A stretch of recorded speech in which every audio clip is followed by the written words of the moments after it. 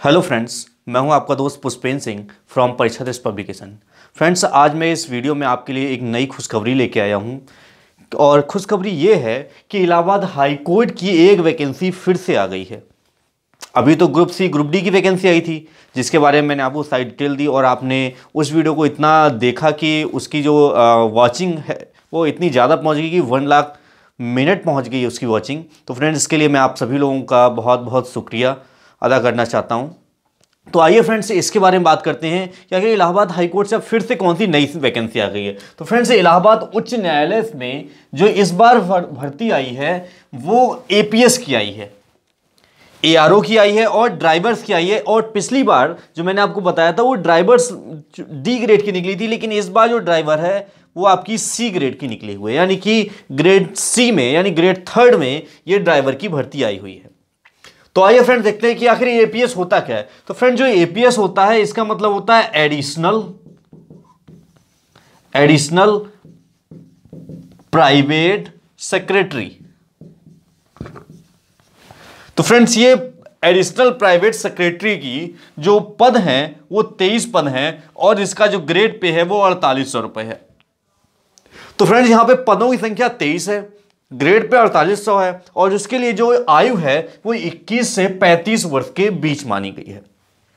इसमें योग्यता क्या है? तो फ्रेंड इसमें आपको ग्रेजुएट होना है। यानी यदि आप स्नातक हैं ग्रेजुएट हैं आपने बीए, बीएससी, बीकॉम, बीसीए कुछ भी आपने करके रखा हुआ तो आप इसके लिए एप्लीकेबल है। लेकिन साथ में इन्होंने ये मांगा है कि स्टेनोग्राफर में स्टेनोग्राफी जो होती है उसमें आपकी स्पीड कम से कम 100 वर्ड पर मिनट हो और प्लस उसके साथ ही टाइपिंग आपकी 40 वर्ड पर मिनट हो। लेकिन फ्रेंड्स, बस इतनी अच्छी बात है कि दोनों इंग्लिश में मांगी, इसमें हिंदी में नहीं मांगी हुई है। यानी कि स्टेनोग्राफी भी इंग्लिश में चाहिए और टाइपिंग भी आपको इंग्लिश में चाहिए।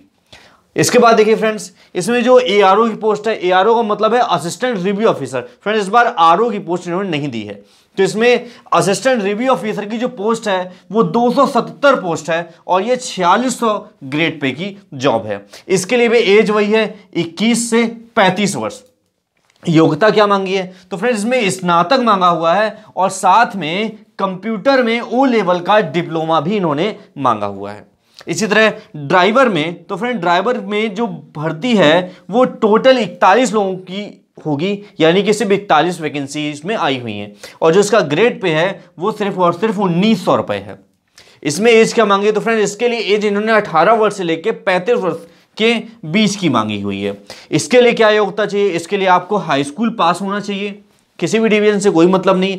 Motor vehicle licence sorry voter लिखा है, ये मोटर व्हीकल लाइसेंस जो है, वो आपके पास होना चाहिए। लेकिन उन्होंने कहा है कि मोटर व्हीकल लाइसेंस जो हो, वो कम से कम पाँच साल पुराना हो, कम से कम पाँच साल पुराना हो। यानी इतना पुराना यदि आपके पास है तो आप ड्राइवर की पोस्ट के लिए अप्लाई कर सकते हैं। फ्रेंड इसका जो फॉर्म है, वो 18 बारह 2018 से स्टार्ट हो जाएगा, और जो इसकी लास्ट डेट है, वो 7 जनवरी है।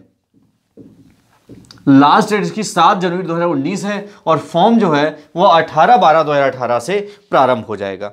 यानी कि आज कितनी तारीख है? 17 तो कल से स्टार्ट हो जाएगा।